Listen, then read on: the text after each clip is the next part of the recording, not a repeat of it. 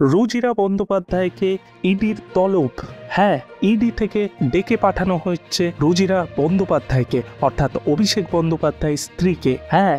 এই মুহূর্তের সব থেকে বড় খবর, রুজিরা বন্দ্যোপাধ্যায়কে নোটিশ পাঠানো হয়েছে ইডির তরফ থেকে। আটই জুন তাকে হাজির হতে হবে ইডির দফতরে। মূলত কয়লা পাচার কাণ্ডেই তাকে তলব করেছে ইডি। সূত্র মারফত এমনই খবর পাওয়া যাচ্ছে। আজ সকালে কলকাতা বিমানবন্দরে যান রুজিরা বন্দ্যোপাধ্যায় দুবাইয়ে ছুটি কাটানোর জন্য। আর সেখানে ইমিগ্রেশন সেন্টারে তাকে আটকানো হয়। সকাল সাতটার সময় তিনি কলকাতা বিমানবন্দরে পৌঁছান তার দুই সন্তানকে নিয়ে। আর সেখানেই ইমিগ্রেশন সেন্টারে তাকে আটকানো হয়। খানিক্ষণ কথা বলার পর রুজিরা বন্দ্যোপাধ্যায় দশটার সময় বেরিয়ে আসে ওখান থেকে। গোটা ঘটনাকে কেন্দ্র করে ইতিমধ্যেই রাজনৈতিক চাপানতি শুরু হয়ে গেছে। তৃণমূল কংগ্রেসের তরফ থেকে বলা হচ্ছে, সুপ্রিম কোর্টের নির্দেশ থাকতে কেন রুজিরা বন্দ্যোপাধ্যায়কে আটকানো হলো? এই অভিযোগটাই করা হচ্ছে তৃণমূলের তরফ থেকে। আর অন্যদিকে আদালত অবমাননার মামলা করতে চলেছেন অভিষেক বন্দ্যোপাধ্যায়। আবারও বলে রাখি, রুজিরা বন্দ্যোপাধ্যায়কে নোটিশ পাঠানো হয়েছে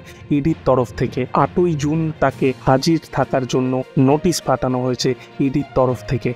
এখন দেখা যাক আটই জুন কি হয়। রুজেরা বন্দ্যোপাধ্যায় ইডির অফিসে পৌঁছান নাকি অন্য কোনো মোড় নেয় এই গল্প। আর যেহেতু জিজ্ঞাসাবাদ চলবে, রুজিরা বন্দ্যোপাধ্যায়কে কয়লা কাণ্ড নিয়ে, সেখানে যদি কোনো উত্তরে অসঙ্গতি পায়, তাহলে কিন্তু ইডি সঙ্গে সঙ্গে গ্রেফতারও করতে পারেন তাকে। এখন দেখা যাক আটই জুন কি ঘটে।